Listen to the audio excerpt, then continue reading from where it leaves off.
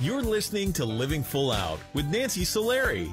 As a life coach, Nancy can teach you how to stay strong under pressure and work through challenges you face. Being legally blind, Nancy inspires others to be resilient in overcoming obstacles and live full out. You can ask Nancy for advice in your life on relationships, finance, business, health, and more. Just call in at 800 333 0001. Once again, that's 800 333 0001. Now, here's Nancy. Hello and welcome to the Living Full Out Show. I'm Nancy Solari, and today we're going to be talking about expectations. Those that they have on us, right? Uh, so many people have expectations on who we can be and what we should be doing but then also the expectations that we have for ourselves and how we can be released from that and just be arms wide open to what's possible. So, we're going to be talking about that. Also, we'll be taking your calls. Again, that number is 800 333 0001. 800 333 0001. If you'd like more resources on today's topic, please reach out to us at connect at livingfullout.com. We want to make sure that you are supported. And also, if you have an inspirational story that you'd like to share with our community, we'd love to hear from you. Uh, just again, send your story to connect at livingfullout.com. In our next segment, our inspirational guest will be coming up, Colleen Werner. She's going to talk about how she dealt with an eating disorder as a dancer and how she was really able to love her body as she grew into a mature woman and and how did she do that how can we all look at our bodies and appreciate the good parts and also know what we need to work on and, and steadily do that so, again, we'll be looking out for her story. And if you want to hear today's show again, please feel free to go to livingfullout.com, go to the radio show tab, and all of our episodes will be waiting there for you. Or if you have Alexa, we are on Alexa as well, and you can just ask her to play any one of our shows. Just go to Living Full Out Radio Show. And we're in the i the app stores for iPhone and Android. So again, whether you need to get motivated at, in the evenings or in the morning or on the road, just feel free to connect with livingfullout.com and we'll be there to support you. Now, I'm getting word from our producer that we do have a caller on the line. We're going to go say hello to them. Hi, welcome to the Living Full Out Show. Hello, how are you? Thank you. Thank you. I'm doing good. How can we help you today? Uh, I had a question. Mm-hmm. Um, my question was, what are some ways, like some of the best ways to go about time management? Like, how do I organize myself when like school gets busy? Ah, great question. And I remember those days. I've been out of school for a while, but it does get really hectic, right? Between school, studying, uh, sometimes a, a job in addition to a social life. So let me ask you a question. What is the biggest demand that you have right now? Uh, probably just maintaining like good grades with schoolwork. Mm-hmm. Now, do you feel like you're good at keeping a schedule, or do you oftentimes just kind of uh, fly by the seat of your pants type of thing? I've tried. I've tried to get a little better using like applications, but um, it's still there's still times where like different things come up, and it's hard to like manage and prioritize. Okay, and the first step there is just acknowledging that. And so, what I want you to consider are a couple things. Apps and schedules, they're all good. You just got to find the method that's best for you. So, for example, some people do have a weekly, monthly planner and they put everything in there, sometimes to the hour or even to the minute, and that works for them. For other people, the night before they go to bed, they they put together a to-do list for the next day, and you might even put, you know, time parameters around when things need to be done. If those methods are working great, if they're not working, you might need to up the ante and enroll other people to support you. Now, that other people can't tell you necessarily down to the minute that what you should be doing, but you can absolutely have accountability partners for school. Maybe um, somebody who's also in your same class that can check in with you throughout the week to make sure that you're on track. Or maybe if you're looking to work out, it's an accountability partner, someone that you can work out with or can check in with you a couple times a week and make sure that you're on track. Do you have those people in your life that are keeping you accountable? Uh, I can definitely find some for sure. Okay, so I would encounter, uh, encourage you to do that, and and most of all, be good to yourself, right? Because you can you can look at yourself as though you're a robot. Do do do, go go go. You know, stick to that schedule. But at the same time, life is organic and it's really meant to be lived. So there may be an opportunity that pops up in your day that wasn't in your planner, but it's something that, gosh, you'd really enjoy doing. Or maybe it's an opportunity to connect with new people. And so don't get yourself overcommitted. That's the only thing about a schedule. Leave a little wiggle room in there so that when new opportunities pop up, you can say yes. Will you do that for me? Yep, we'll do. Thank you. You got it. Have a great day. Thank you for calling in. No problem. Bye. Okay, bye bye. Love that he asked that question because, again, I, I can feel the expectations that he has for himself, all the things that he wants to do and do them on time in the right way. And I admire that. But at the same time, just like I told him, life is meant to be lived. So we need to be able to embrace those unexpected, beautiful moments. Now, I'm getting word from our producer that we have another caller on the line. We're going to go say hello to them. Hi, welcome to the Living Full Out Show. Hi. Hi, thank you for calling in. How can we help you today? Uh, so I'm a college student and Mhm. I'm doing a team project right now, Mhm. but my teammates are not like contribute that much as I do. So I don't know like how I can communicate with them like to let them contribute more. Mm. And that's a bit scary, right? Because when it's a group project, if one goes down, you all go down, right? Or you have to, or And you're going to, like a fifty percent of my grade. right. And you don't want to do all the work and have everybody else coast through either. hmm So, how many people are in this group? Three. Three. Okay. And are you the leader of the group, or is there already an established leader in the group? I'm the leader. You're the leader. if- Okay. If someone else is a leader, then I don't have to worry about this. Okay. But I got it. But you are the leader. Okay. Mhm. So maybe you've already done this, maybe not. I'm going to tell you a couple couple suggestions I have. Number 1 is yes, you could take the assignment and break it up so everybody has an equal section. And that Mhm. sounds good in the parameters of everybody having equal talents and gifts. But the thing is, is there may be certain um, talents that you have that another team member doesn't have as strong. Like some of you might be better writers, others might be better Mhm. researchers. Okay. And so you kind of have to look at the project and see where the strengths are from the team and see if you might be able to shuffle things around. Some of these folks might not be doing what they're doing on time because they feel as though they can't live up to the expectations of you or the group. And a lot of mm-hmm. times we, we do get in our own way. We self sabotage ourselves. We know that we have a project, we know we have a deadline, but yet we say yes to going to the movies or we watch TV for too long, right? So, what I would do if I were you and I were the leader is I would look at where the project is currently, what still needs to be done, and you might want to mm-hmm. reshuffle things around. Look at your teammates, or even maybe have a conference call together by phone or an in person meeting and see if things should be shuffled around into a different order so that people are really mm-hmm. doing their best based upon what they're good at. The other thing is, as a leader, don't be afraid to put some motivational messages out there, telling your teammates, I believe in you, I'm here for you, or even reminders when things are due. Hey, I know you're going to come up with some great research. Just remember it's due today at five, right?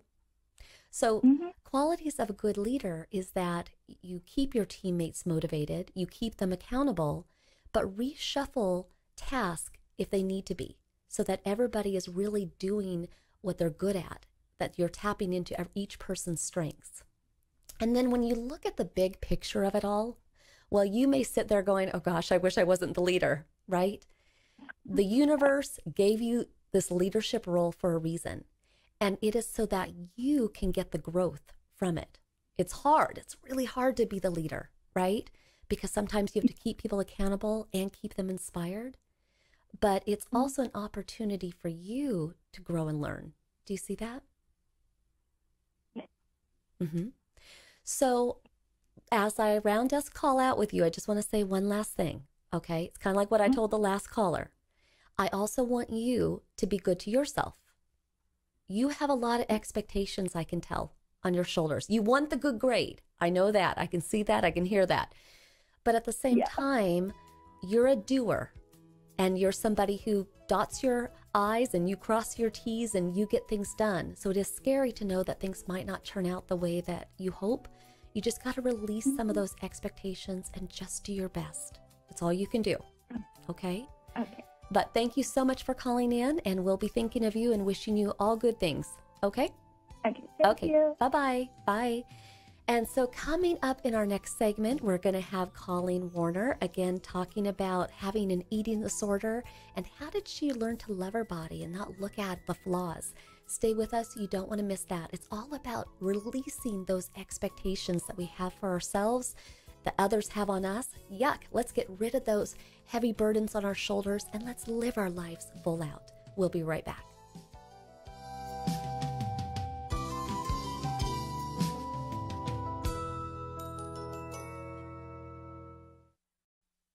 You're listening to Living Full Out with Nancy Solari.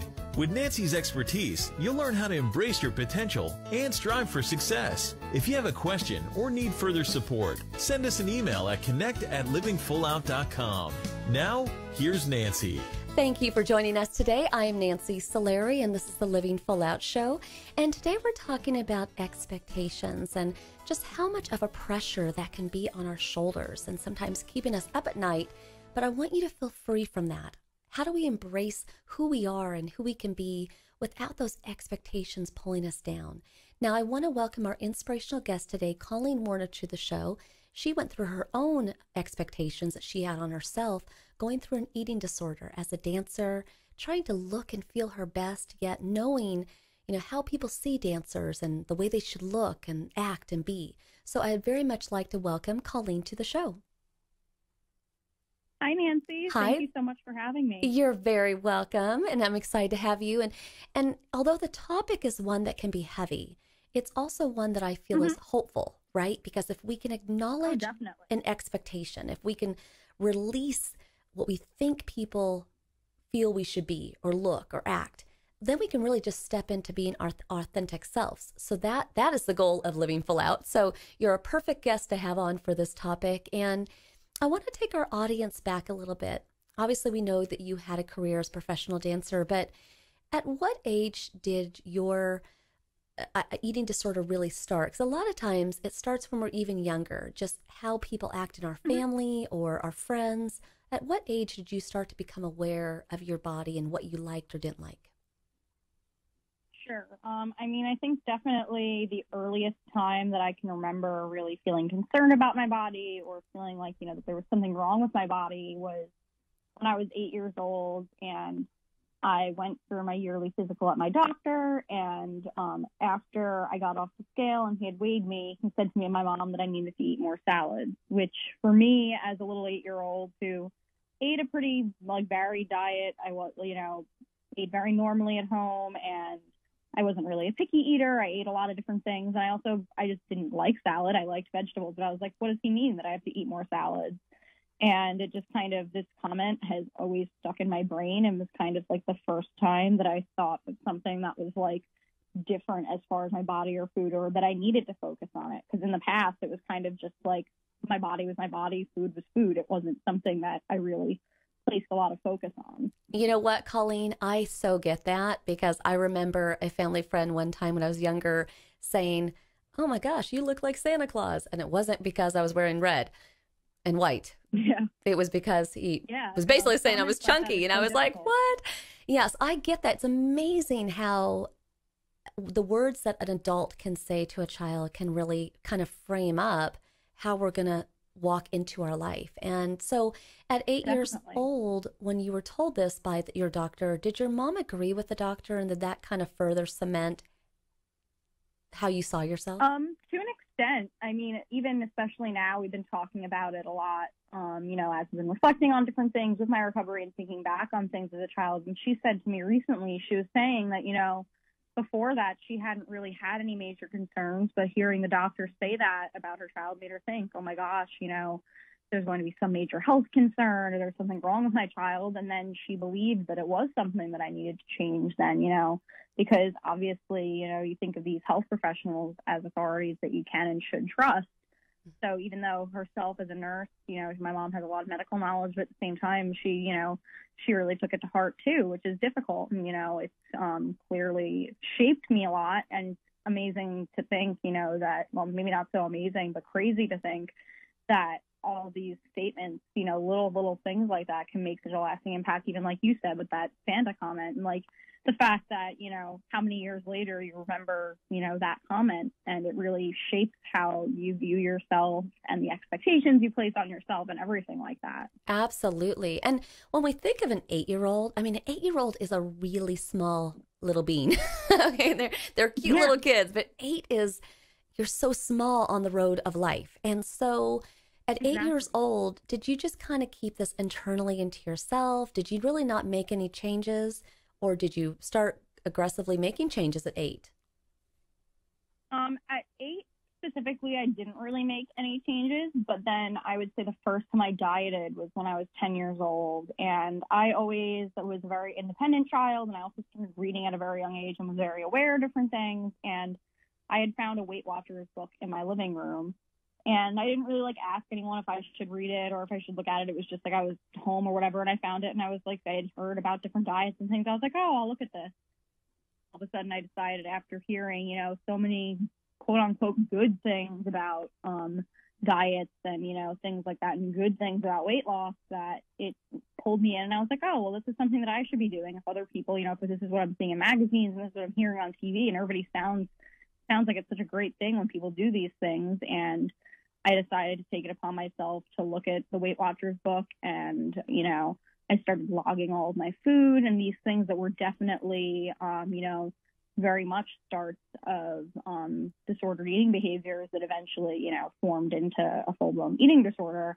And I think it's because I was so independent at a young age that it wasn't like people were really like concerned as far as different things I was doing. They kind of like didn't have, not that my, like my parents are amazing parents and, you know, they did an amazing job raising me, but because I was so independent, it wasn't like they felt like they needed a helicopter over me or, you know, they let me be very independent, especially because I'm the baby of my family. So, and I was always very mature.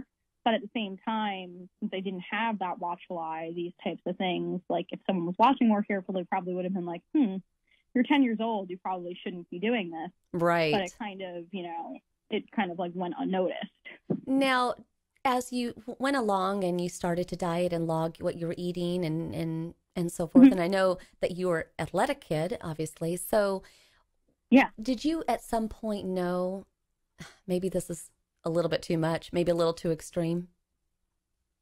Um, I mean, it took a very long time for me to think that anything was too extreme, and actually, the first time, and it wasn't until I think I was like 17 or 18 that I really thought that there was anything possibly wrong. And it was only really an inkling. It was, I had gone to a doctor because I was having some autoimmune issues and he put me on an elimination diet, which helped me find out that, um, I had celiac and I can't tolerate gluten, but in that time frame, because I had to eliminate um, a bunch of different types of foods and my diet was fairly limited because of us trying to figure out, you know, what I was not able to tolerate, I lost some weight. And that was the first time, I guess, since it was like kind of out of my control that it wasn't weight loss that I was trying to cause. Mm. That I thought it was maybe a problem. And I said it to my mom, and she was like, you know what, like maybe we'll mention it to the doctor when we go there again and see what he says. And he kind of brushed it off and was like, oh, it'll even out. Like there's no problem. And looking back on it now, it definitely um, was a problem. And I think one of the big problems is, you know, that health, some medical professionals aren't educated very well with eating disorders and things to look for, especially yeah. not, you know. And you were and you were now starting Yeah, and you were now starting to essentially ask for help and that kind of opened a new door. Yeah. I want you to stay with us, Colleen, because we're going to be going to a break here. Mm-hmm. Um, but but I think we're going into a, a part of your story which is really important when the person with the eating disorder starts to recognize that they need help and starting to ask for help, but yet nobody's listening. So, how do we listen yeah. to those folks? So, stay with us. And everybody, when we come back today, we're mm-hmm. talking about the expectations that we have for ourselves or others place on us and how we can be released from that and really allow yourself to step into the good parts of who you are and who you want to be. Stay with us. We'll be right back after this break. This is the Living Full Out Show. I'm Nancy Solari. Stay with us.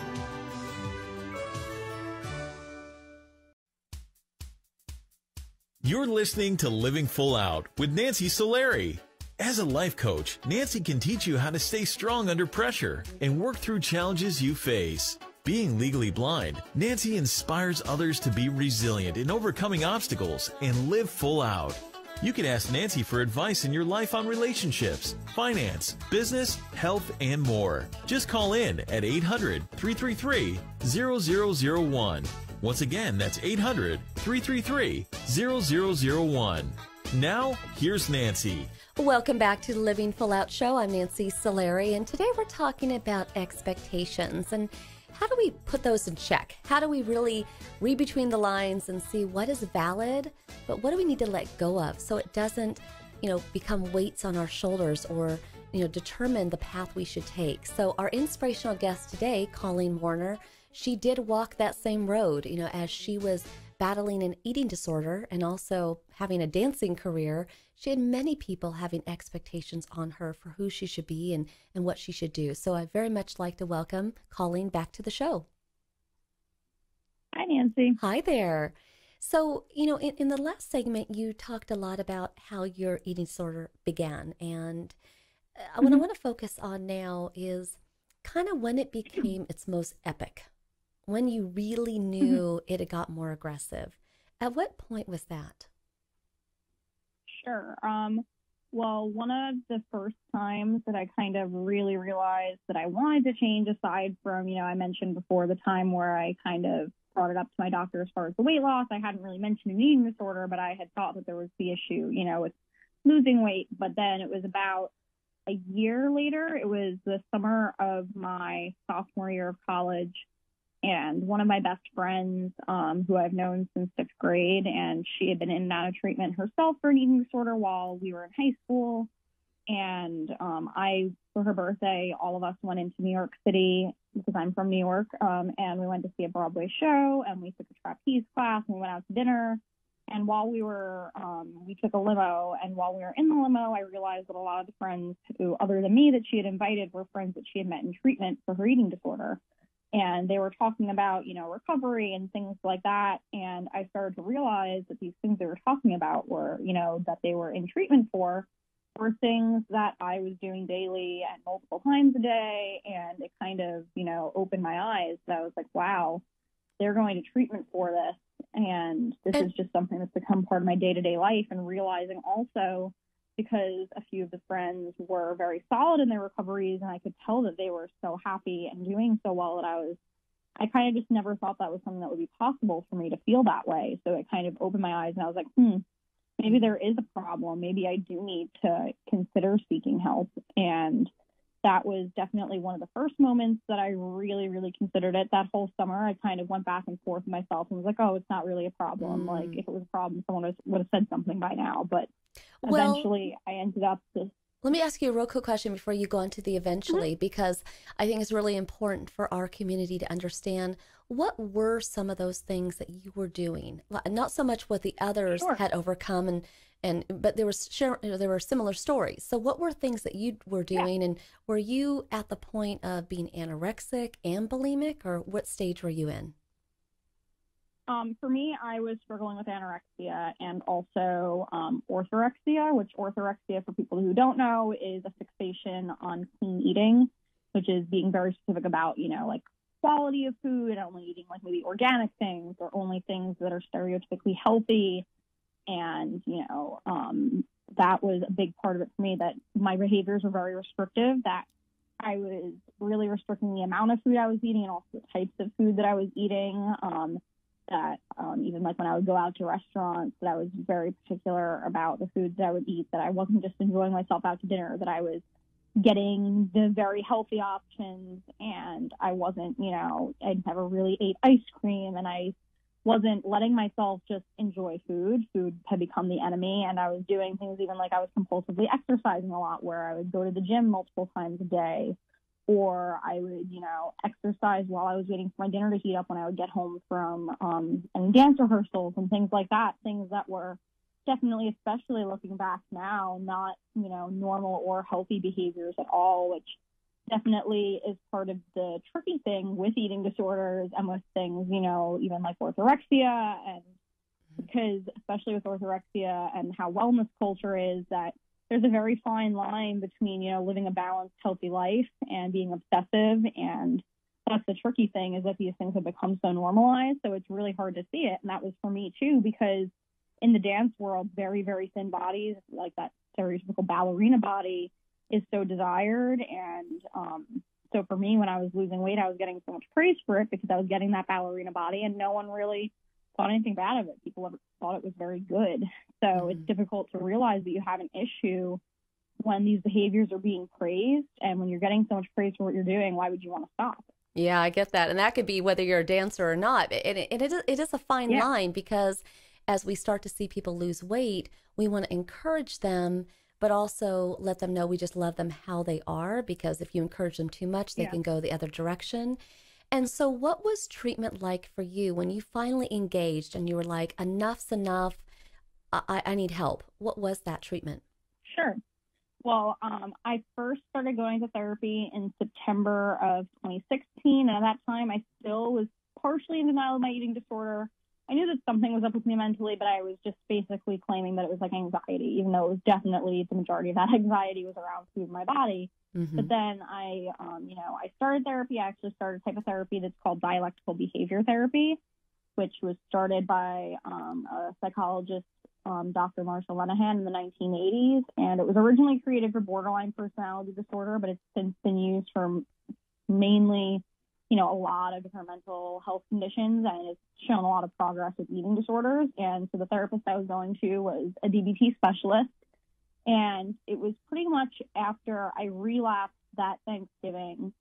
And it was after that that I really started being open about what was going on because I realized that clearly not being open about it and not addressing what was going on, I was pretending to myself that everything was getting better, mm-hmm. but it wasn't. So, um, well, and I, want, I want, and I want to ask you a lot more in therapy. I want to ask you real quick about that, Colleen, because whether it's sure. alcohol, whether it's gambling, whether it's a food addiction, the thing is is relapses do happen and and we we could all do yeah. that we, i mean I, we could just say hey i want to work out more and then all of a sudden secretly eat a cheeseburger but nobody knows but me right um, the thing is mm-hmm. is a relapse has just happened. so what what what caused you to relapse was it was it stress and then once you did did you kind of throw your hands in the air and you're like what's the point or did it further ignite that fire within you um, so for me, it was kind of a combination of stress. I mean, I,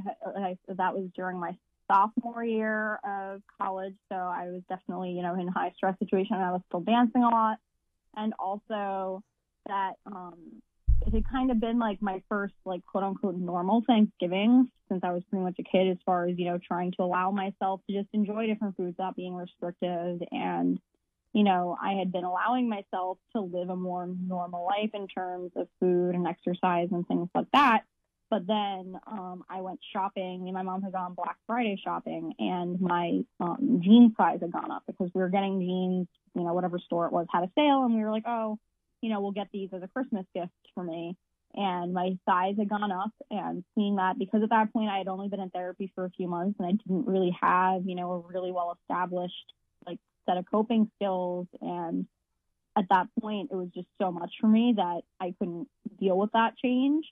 And it all just spiraled. And it was a few months before I really, I would say it was like maybe like Christmas ish, maybe the beginning of January, like the beginning of the new year, when I really figured out that like I needed to get out of that spiral.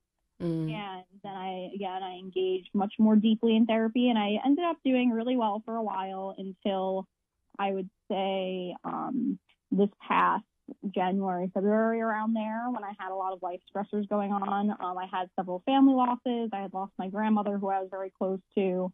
And then I was also taking 18 credits in school. I'm a college student. And then I had sprained my ankle, and this was all in the span of like three weeks right in the beginning of the semester. Mm-hmm. And then also in the midst of this relapse, I um, ended a long term relationship and so it was just so much at once that um, even though at that point I had so many well established coping skills that my brain and body just couldn't do it.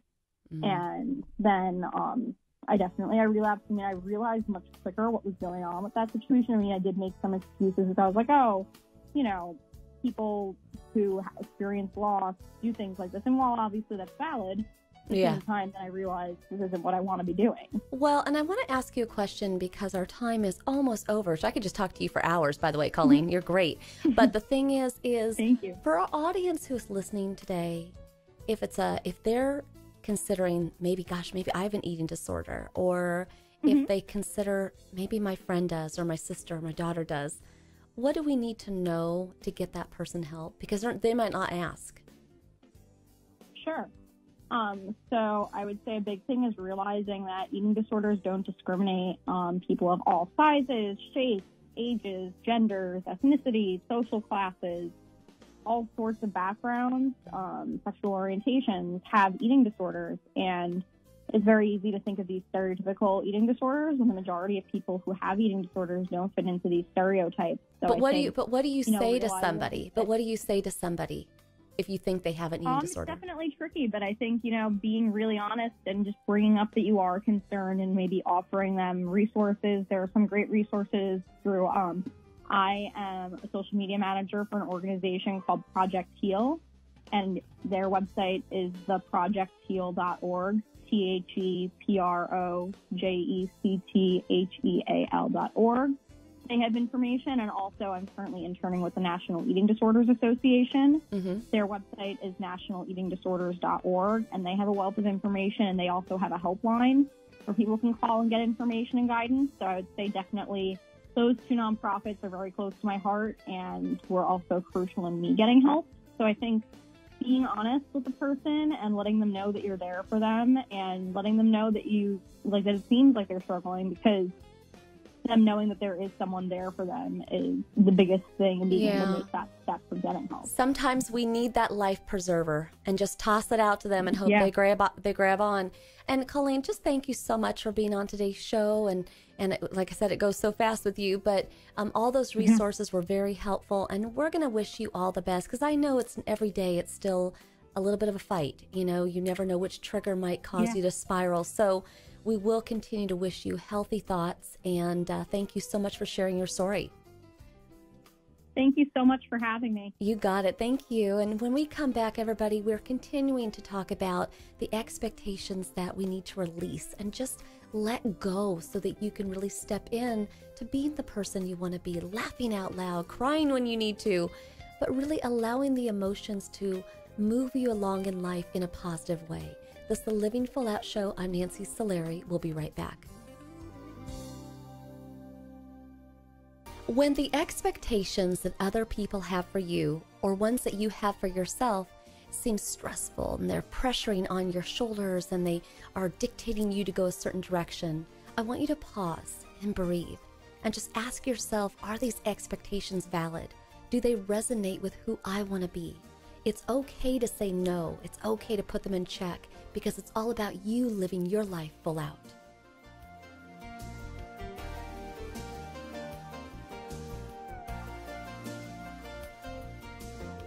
You're listening to Living Full Out with Nancy Solari. Nancy is here as a guide to show you how to rise above obstacles and savor each moment. If you have a question, call in live at 800 333 0001.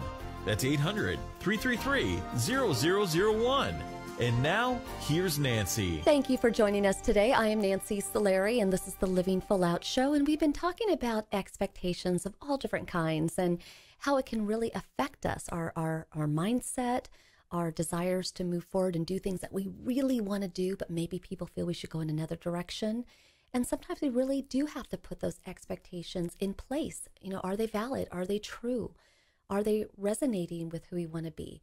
And so I want you to think about at the end of the show what expectation for yourself do you need to let go of today?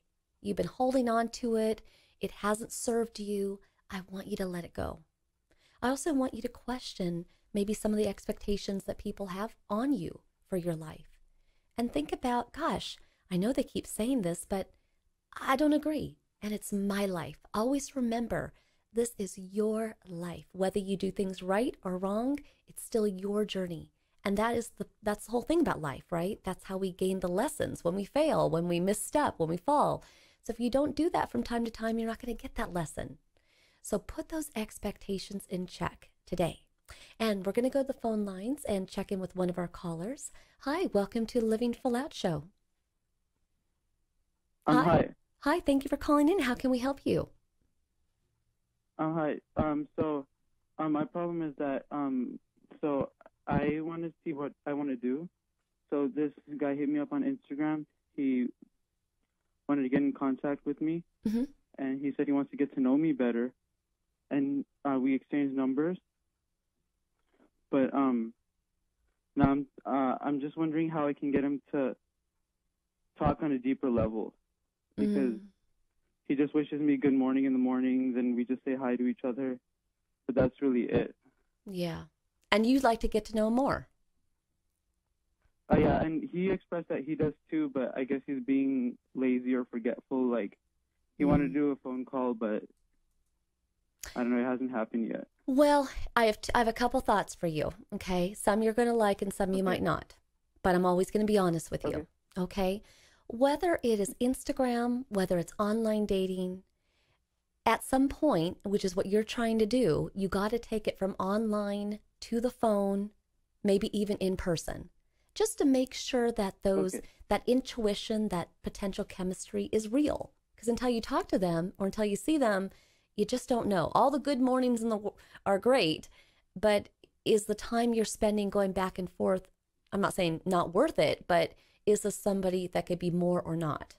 And so you really want to find that out sooner than later. So I would continue to ask that person, "Hey, are you available tonight to talk on the phone?" Or I'm maybe even just say to them, "Hey, I know your schedule's probably really busy this week. Um, you know, let's let's set a time this weekend to talk, or even meet in person, depending on where they are." Continue to put that out there. Now, here's the part you're not going to like.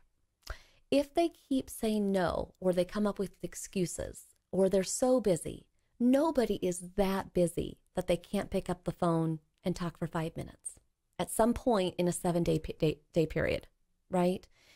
At some point, you're going to have to hmm. ask yourself could this person be not authentic with me? Is there something going on? Because it might be that they're shy, but at the same time, on a very basic level of friendship, right? We all want friends in the world, right? I just met a, a gal the other day at a social function and you know we had a great conversation for about 10 minutes and then i had to go we exchanged numbers and i think she'd be a great new friend so you know what? I'm going to call her this weekend and just say hi it was great meeting you. Even if i don't get her i'll just leave her a voicemail. Just friendly. But i'm taking it you know and extending it to having another conversation. For you it's the same thing. You have to extend it but you got to get it to the phone or in person. If this other person does not engage you might have to just tell yourself gosh this might just be a really nice person but maybe they are committed in a relationship. Maybe they are shy but it might just have to stay online and i'm not going to invest too too much into it. Do you see what i'm saying? Right. you want to make sure that in the span of life because there's no guarantees of tomorrow i mean we hope all hope we live to be 100 right? But there's no guarantees. Mm-hmm. The thing is is you want to spend the time and your energy on people that want to be with you want to support you. So give that person every benefit of the doubt stay the course continue to ask to talk on the phone or meet in person but at some point down the line, weeks from now, months from now, even a year from now, if that person doesn't engage, you might just have to be a little bit realistic with, you know, there might be something going on on their end where they can't really take it beyond online. Does that make sense? Right. Right. Okay. And I say that in the most loving way because you seem awesome. And I would like to be your friend. So many people in our community are hearing you right now going, he sounds great. I would call him. I'd meet with him, right? Mm-hmm. So you want to make Right. sure you find like minded people that want to run with you through life and enjoy it. Okay? Right. Uh huh. All right. Thank you so much for calling in. And Okay. Thank you. Thank you you, so got much. it. Bye bye. And as we round up today's show, just remember that expectations can be released, they can also be considered, but you are the one who makes the final call, the decisions in your life. I believe in you, so does the entire Living Full Out family. Just know we're here to support you each week. Go to livingfullout.com if you want to hear this show again or catch us on Alexa or the uh, app stores. Have a great day. Talk to you soon. Bye.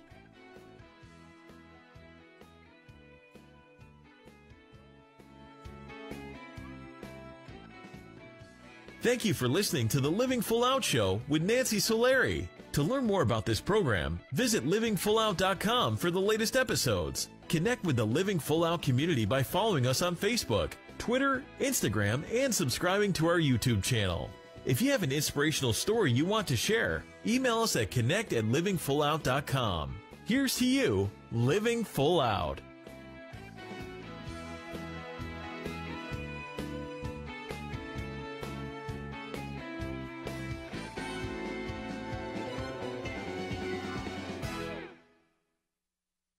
Thank you for watching the Living Full Out YouTube channel. If you enjoyed this video, please make sure to hit the like button. And if you're interested in the content we provide, feel free to hit the subscribe button. Now, for more inspirational content, click the video on the right to get to know me, Nancy Solari, host of the Living Full Out Show and certified life coach, in more detail. Click the video on the left and you'll be motivated by the Living Full Out radio show and our inspirational guests and callers. Keep in mind, we welcome your comments. If you're empowered, let us know. Feel free to leave a comment. We would enjoy hearing from you. And here's to you living your life full out.